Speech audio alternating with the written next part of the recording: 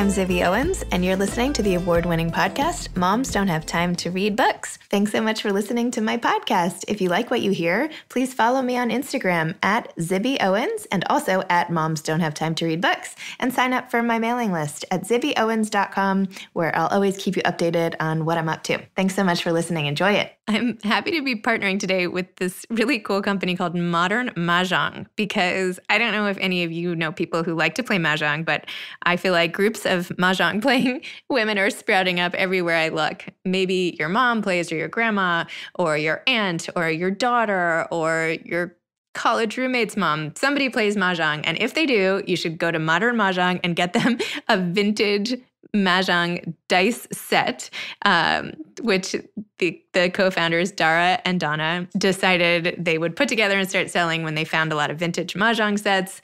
And they also are doing lots of fundraisers for Alzheimer's and donate a dollar per pair of purple jokerless Lotus Dot dice sold. Check out Modern Mahjong and get the set. Why not? I'm here today with Lynne and Valerie Constantine. They are the duo behind the pen name Liv Constantine.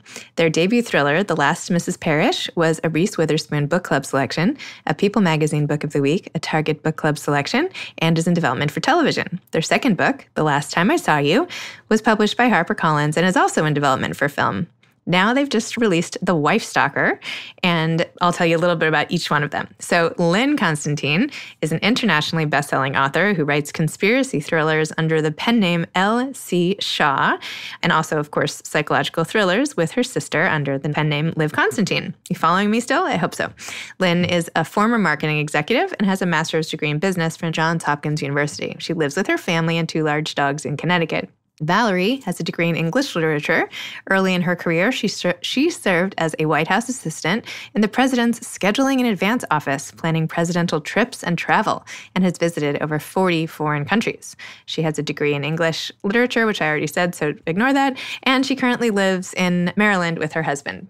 So, welcome to everybody for coming on Moms Don't Have Time to Books, all your different names and pen names and whatever. So, I'm here with Lynne and Valerie Constantine, known together as Liv Constantine, who wrote The Wife Stalker. So, welcome, guys. Thank, Thank you. you. It's great to be here. Let's start with this pen name situation. Okay. Go. Right. With the pen name situation. When Lynne and I, Lynne and I actually wrote a book quite a while ago together, and we used our real names well, of course, our maiden names Constantine, Lynne Constantine, and Valerie Constantine. When we got the publishing contract with HarperCollins for The Last Mrs. Parrish, we went to lunch with our agent and with the editor. And that was to, and one of the things that we talked about that day was what we were we going to do in terms of names for the book. And so, of course, the first thing we said was, well, we, we want it to be Valerie Constantine and Lynne Constantine. And they said, mm, no, that'll just take up too much room on the cover. We don't think so. Uh, and they were worried about sometimes it could be off putting to readers to see two names on a book, you know, that they just felt like a lot of times it, it, it looked better and less have, confusion to have, to have one, one name. name. Yeah. So then we said, well, why don't we just use our initials? We'll, we'll make it LV, L for Lynne, V mm-hmm. for Valerie, LV Constantine. And one of them said, hmm, there's initial fatigue. There's initial fatigue. right, which there which, was when you think about oh What a great expression, right? right? Whoever heard I have not heard that fatigue. expression. Right. Yeah. Right. But there were all of those for a long time. There were all and of those initials. And they've come back. Right. And too. then it stopped a bit. So yeah. So we kind of looked at each other and I said, well, why don't we just take those two initials and we'll put a vowel in between them? How about like live? And they both said, "Oh, great!" Yeah, I, well, we, all sort of that. looked at each other, yeah, yeah, and we and we liked it, and yeah. then yeah. So that's how live came about. I, will let you talk about your other name that you hide behind. Yeah. Oh, right, right. right it could be that we're in the witness protection program. I am wondering. I'm wondering what's going on. But we on. can't really say. So then, when I decided that I wanted to write this conspiracy thriller series, which is quite different from what Valerie and I write because we write psychological thrillers, and we talked about names for that, and and and. And I agree when they said Lynne Constantine is so similar to Liv Constantine that, you know, it's the worry was that if people picked up the network book they would think it was another psychological thriller and be disappointed because mm-hmm. you know you want to give readers obviously what they're expecting so then I was going to use my dog's name, oh Grayson. My gosh. I thought, well, maybe Grayson. And then Shaw, Parker, and then the- Parker. Yeah, then the I had other another dog. dog. and I thought he would be upset. So then I was going to go by. Oh, then they said, why don't we do initials? So the initial fatigue was over. Oh my gosh. Right. right, So yeah. it's Lynne. L.C. is for Lynne Constantine, and Shaw is a, an abbreviation of Openshaw, which is my married name. So Wow. yes, Right. so that's how that came about. So we Shaw. still have lots Why- of options for other names Yes, for other exactly. books. Not to keep talking about this, but why wouldn't you just be Lynne Openshaw? It just didn't sound that exciting. I don't know. Even my husband's like, oh, don't use Openshaw. Shaw Shaw sounds better. so Okay. All right. Okay. Whatever. Right, well, it's right. working. Yes, Whatever yes. is going on, the marketing is Right, working. yeah. right. I think the pen names are fantastic. Right. But I don't know. You just don't hear about pen names as often as I feel like in the past. No, you're right. I mean, my husband jokes and, and says, I don't know who I'm sleeping with tonight. Like, who are you? Who are you? That So would be pretty exciting for him, though. Right. So, what is the Wife Stalker about? So, The Wife Stalker takes place in Westport, Connecticut, and it is about a woman whose husband is just coming out of, of a deep depression that has affected their marriage. And she thinks that it's because he is getting healthy, but what she doesn't realize until it's too late, it's that it's the woman running the retreat and health center that's making his spirits perk. And they have two small children. And so when he leaves her for Piper, she begins to look into Piper's background and is horrified to discover a wake of dead husbands in Piper's past.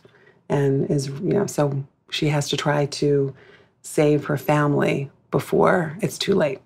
I am never letting my husband go to a yoga wellness retreat. Ever. so let's just back up before we started changing all of your names to when you even began writing and what made you start writing and why these two different types of books, the psychological thrillers and the other. Oh, sure.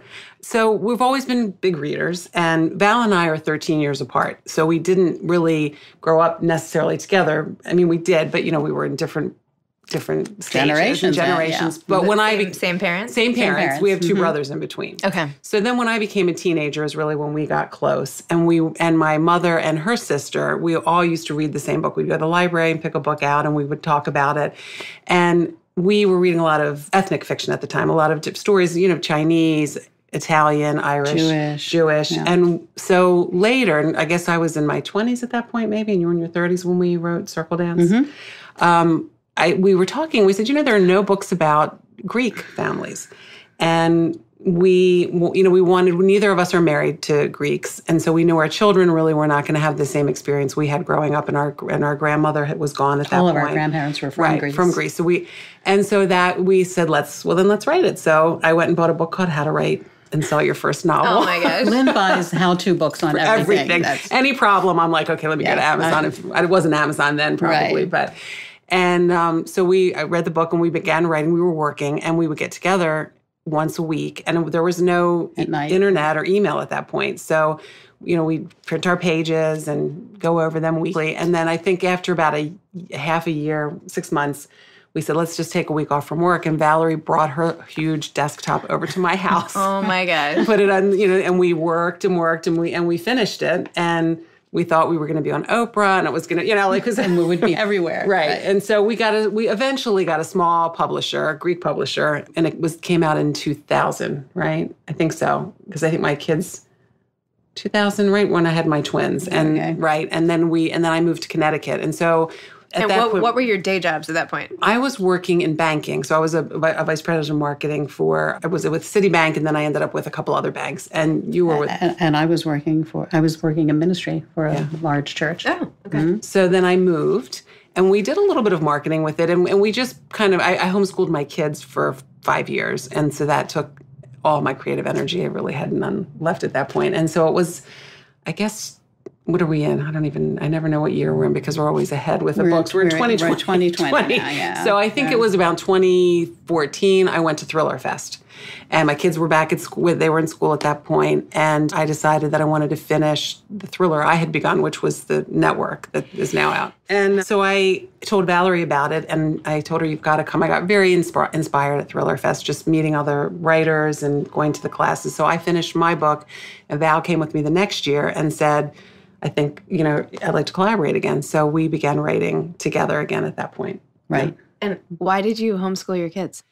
W- Well, I mean, like with the coronavirus looming and the thought of the schools closing and having all my kids You- here, I'm like, oh my gosh. yes, you could. Yeah. Well, Um, Lynne had twins. I have Right. twins too. Yeah. oh, okay. My oldest kids are twins. Yeah.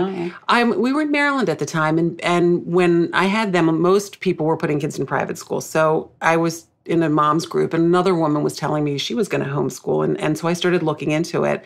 And I really, what I, my primary reason was I liked the idea of the bonding that you have with your children, of, of them becoming, being more reliant on you in those early years than their peers. Because a lot of the research said what ends up happening is that a five or six year old child goes into a classroom of 20.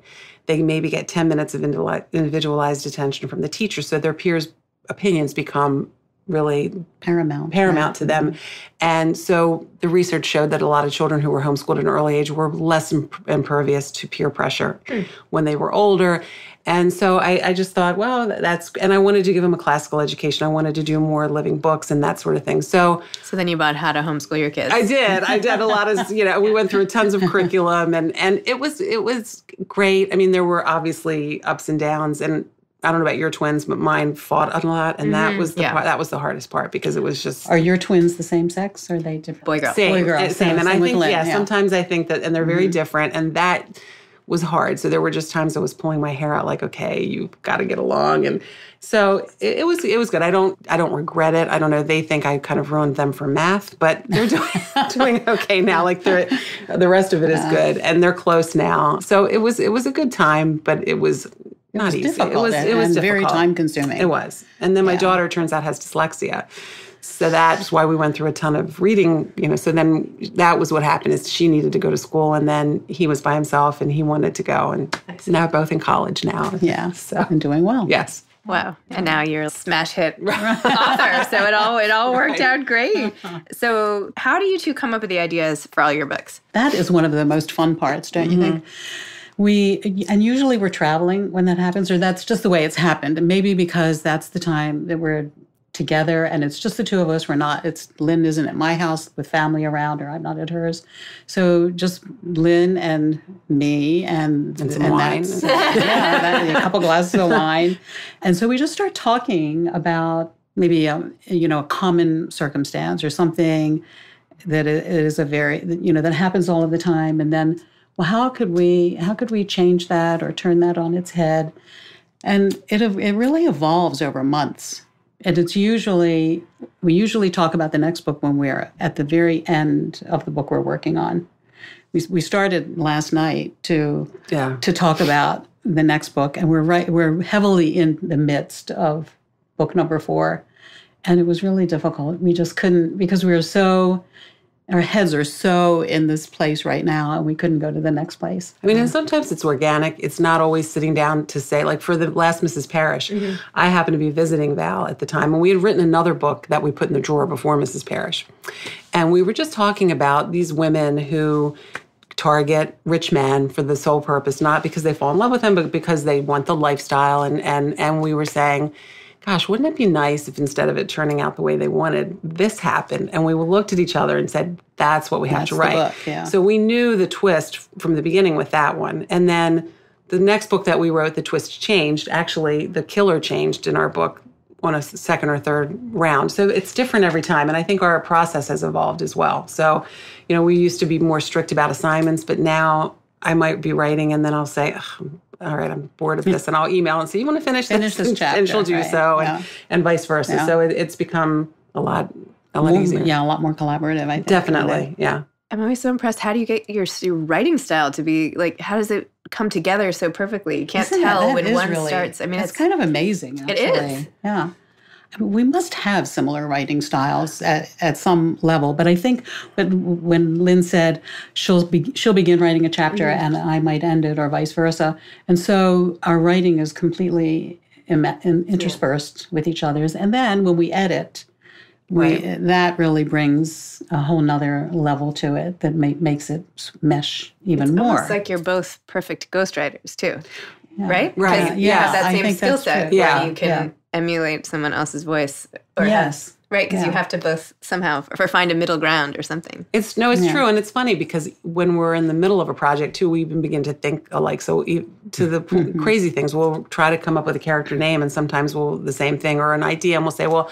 We think they should be, and we'll both say twins at the same time. Okay, well, that, so it's it's like It a little, really- it's- yeah, it's magical. Do you ever fight over anything? I mean, Not really. I mean, we a couple times we've had We've had disagreements. We definitely. Yeah. I mean, I think that's gotten better because we, instead of having a set opinion, we we bring things to the table and say, all right, let's discuss. What if this? What if that? So it's not like, well, I think it should be such and such. But we've had a couple times when we, Mm-hmm. we and then we would take it to our editor. We don't say whose opinion is whose, Yeah, no, right? good. Yeah, Yeah, we just say which- which, right. and then you know we hope. neutral third party, Right. key. And then we hope that each of our, you know, we win, but and what was it like when you got when Last Mrs. Parrish got picked as a Reese's Book Club pick? amazing. Okay, tell me the moment you That found out. Like, tell me, take me through the whole. Just You can do. You Okay, can go. so we were we were touring, and it was November, I think. I can't remember October, November. Uh, anyway, we were was we were in Annapolis at a book club, and I got an, a phone call from our agent, and she said, "Do you and Valerie have some time to talk to Emily? Emily is our editor." editor. And I was like, "Are we in trouble?" What's? She's like, "Oh no, no, yes, everything is fine." So she she said, "All right, call me." So we went back to Valerie's house, and her husband was sitting there. We're around the kitchen table, and, and we were on a landline. We each were on one. So they said, "Are you sitting down?" So we said, "Yes." And they said, "You know, you've been we've been picked for Reese Witherspoon." So of For course we were like, "What?" you know, screams of of joy, and our, and her husband is looking at us like, "What? What?" So then they said, "But listen, you can't tell anyone." oh no, It was- there was like two weeks between. We had or two like weeks or, lead time or before more it than was that. going I think to. it was like a month because they Was didn't come out to the middle. Yeah, they said because you know they don't want anybody to know, and you can't even tell your husbands. and don't even Google her. Don't. Right. so, Colin, my brother-in-law, is a doll, but he's very loose-lipped. So cannot keep a he secret. can't. keep This is your husband? Yes, That's my husband, So we hang up the phone, and he says, "What? What?" And I was like, "Oh, they're going to do an article about us." And then he just looked at us like, "Okay, that, yeah, awfully that, you gotta- excited yeah." about- right. So it was it was really exciting, but we were, I mean, we were bursting, but we couldn't we couldn't, tell wait to share it or anyone, tell anybody, you know. So every day we were waiting for the for the sign, and then For the announcement, for the yeah. announcement, and then you know. But so- it was amazing. We were. It was thrilling and Absolutely shocking. I mean, we had no Yeah, yes, no absolutely. expectation or no you know no idea that that was even a possibility you know for the book or whatever. So it was. I mean, to see and then she. Um, I was just getting to know how to do Instagram, and so she.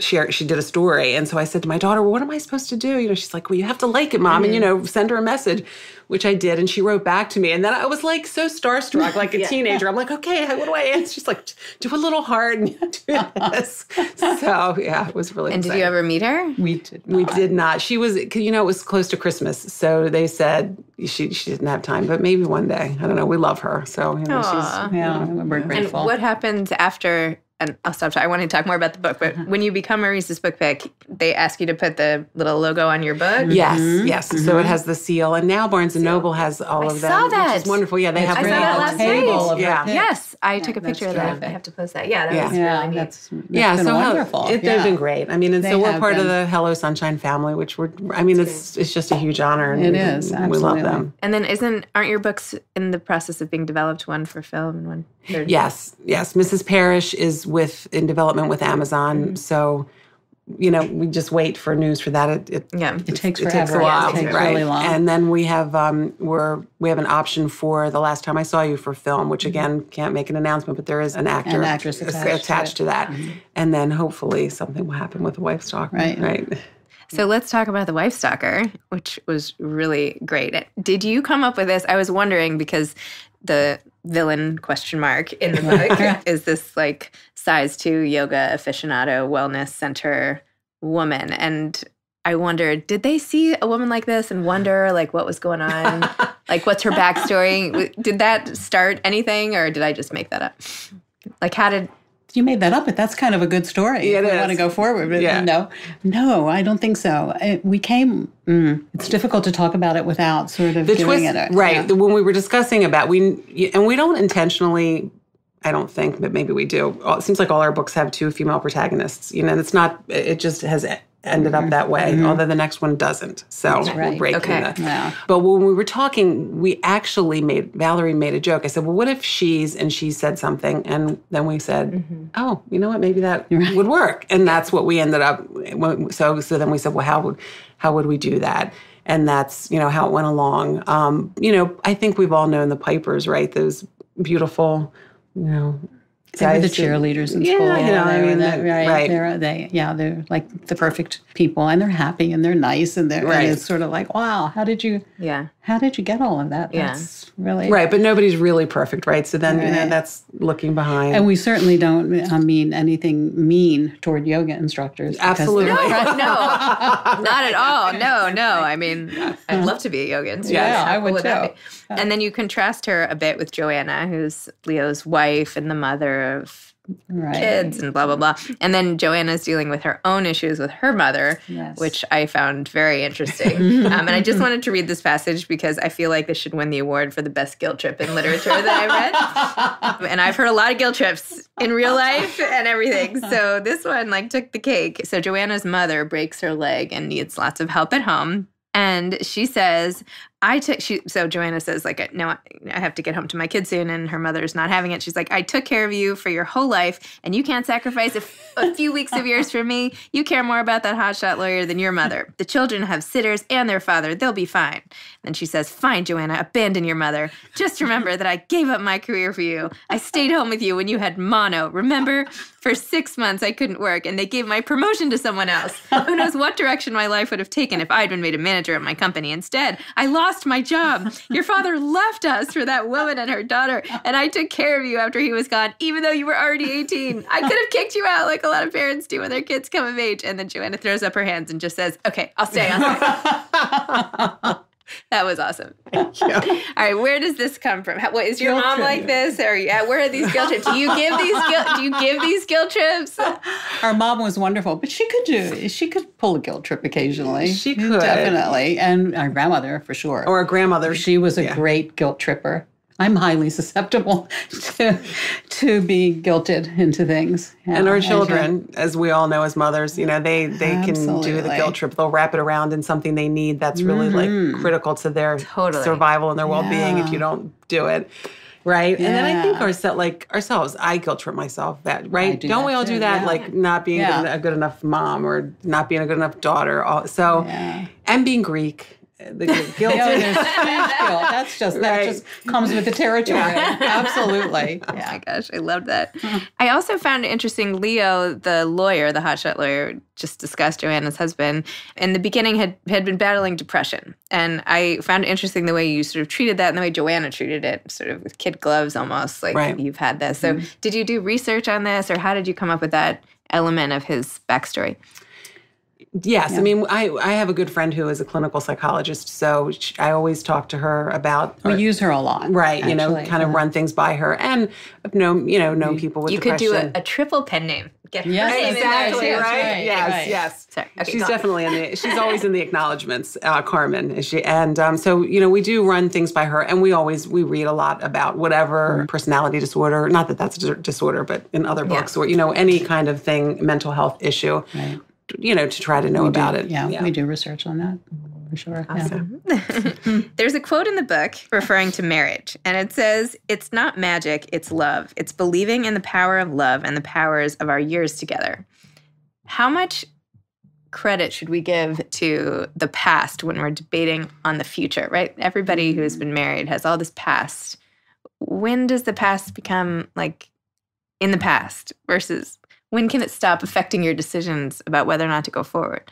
What do you think? I mean, I think weighing everything. I guess, you know, obviously if someone's in an abusive relationship or something that's harmful, then uh, it doesn't I don't I mean, I don't care how many years you have together, you have to look at how that's affecting now. But I think also depending upon if it's a transitional thing, right? We all go through our ups and downs in all of our relationships. So if you can stick it out, if it's something that can be worked through, and I think if you have a lot of good years together, it's worth it because no matter what, you're going to get into a new relationship. You're going to be faced with problems in that relationship as well, right? I think So- that's true. I think, but then I think there's also the this the situation where maybe the past and what you've been going through is not a good thing, and Right. but it's there's such a fear often of leaving mm-hmm. something that you know and something that feels familiar even though it's painful and moving into the unknown and then what a lot of psychologists would say is that you you really won't leave a situation that's painful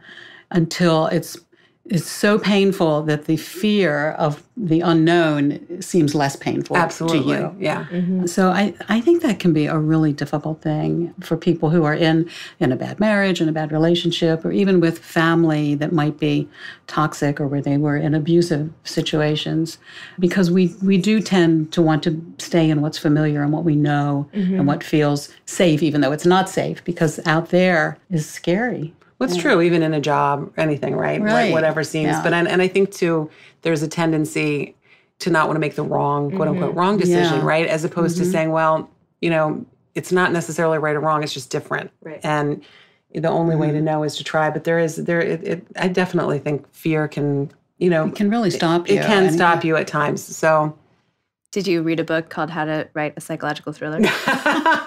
We didn't know we were writing a psychological thriller. when we thriller. wrote Parrish, we, actually. didn't, we thought it was Yeah, just a, we thought it was women's fiction. Yeah. I mean, when that's what we intended it mm. as, women's fiction. And when we got an agent and we signed our contract, and she said, "You know, this is a psychological thriller," and we said, "Really? That's Yeah, she said it sort of goes over. The nice thing, it's both. would- it would- it's it both. would both, And yeah. so we did because, as you you know, with Parrish, there's no murder in Parrish, but then we graduated to murder in the next. Started killing people. Started Then killing why people. not? Yeah, right. yeah, gotta work towards something. Yes. Well, maybe you can write a little thing called How to Write a Psychological Thriller. You could add your ah. two cents add our- into the yes. how-to Yeah. genre since you're so familiar with it. Right. Maybe like a little giveaway on your Little. website. Yeah, that's true. Yeah. People sign up for your mailing list. right. I'll just stop with Oh, that. okay. anyway, do you have any advice for aspiring authors?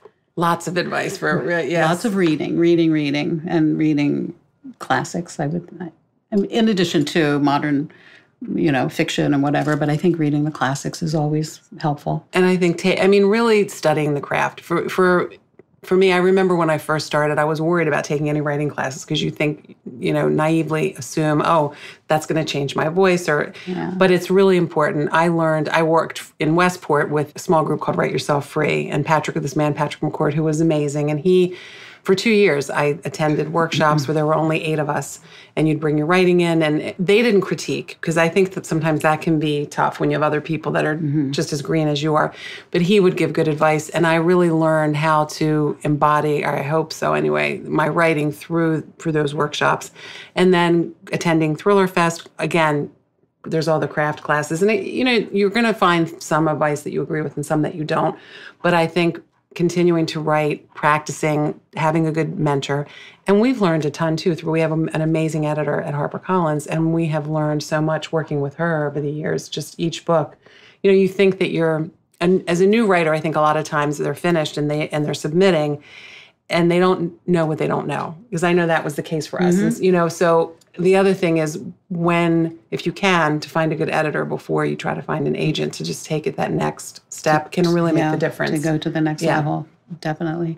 I think a lot of time, uh, often people think of editors as the ones who go in and they fix punctuation and they maybe change a word here or there, or they fix spelling, but there's so much more to the editing process where they'll talk about story development and why maybe this should be placed instead of being in the first third of the book, maybe this should be in halfway through because that will mm-hmm. make the that will increase the tension. Or what is this person thinking when he says that? You know i want i'd like to know what the emotions are and why what, what does she think when he says blah blah blah back to her? And so now when we're writing when, in fact when i was reading one of lynne's chapters and i wrote why did she you know mm. because so we we- so the editors like constantly in our head too. But that i, I think hiring a freelance editor for mrs parrish was incredibly helpful for us before we mm. submitted it. It was. I mean, we actually hired her just to do a, a quick line edit just mm-hmm. before we did, and she and she she's terrific too. And we've worked with her on other books, and she just pointed out one thing that she felt cut the tension in the middle of the book. Mm. And we, over the course of an hour, we said, all right, we talked about it. And we said, well, what if we just stopped it here and moved this over here so the reader doesn't know what happens until, and which is what we did. And and I really wonder if we hadn't done that if it would have been picked up, mm-hmm. you know, as quickly as it was. So, but we couldn't, you know, you're so close you can't see it. So that's the other thing. The editor can see things that or just make those little things that are really aren't little things. And I would also say just keep persevering. Uh, yeah, that's do it huge. every day. Don't give up. If that's really your dream, just keep doing it and doing it. And if you feel like you're stuck on something, put it away. Put it in the drawer And start as- anew. and start something new. And also get a book called Rotten Rejections and read the I think it might be out of print, but I'm not sure. Yeah. You can even find Yeah, it online. yeah. The rejections that amazing classics and bestsellers got to just, you do have to have a thick skin. I think Jonathan Jonathan Livingston Seagull, someone wrote and said, you know, no one wants to read about birds. I mean, they're just all in An animal farm. Nobody wants to read about animals yeah. anymore. And that, I mean, no, obviously they didn't read the books. Or, Interesting. Yeah. Great. Well, thank you both so much Oh, for coming you. on. Thanks for braving the traffic to been get here, terrific. schlepping all the way in to do this in person. I really Our appreciate pleasure. it. Oh no, Absolutely. We're, we're happy to. Thank you. Thank you so much. Thanks again for listening to my podcast, Moms Don't Have Time to Read Books. If you liked this episode, please follow me on Instagram at Zibby Owens and at Moms Don't Have Time to Read Books and sign up for my mailing list at zibbyowens.com so you can always hear about the latest things I'm up to. Thanks a lot. Thanks to Modern Mahjong for partnering with us today. Modern Mahjong. We will think of you anytime we need to give a gift to a mahjong playing person. Thanks so much. Thanks so much to Steve and Ryan at Texture Sound for the sound editing. And thank you to Morning Moon Productions for providing this fantastic intro and outro music. Thanks for listening. You could always email me at zibby at zibbyowens.com.